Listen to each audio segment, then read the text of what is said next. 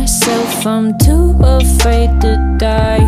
But to say I've never thought about it That would be a lie.